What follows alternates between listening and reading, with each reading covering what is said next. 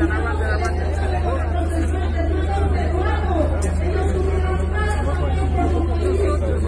Senado es de todos, no es de Morena. Tienen que entenderlo. El Senado es plural. Ah, ¿verdad? Es una vergüenza que le quede clara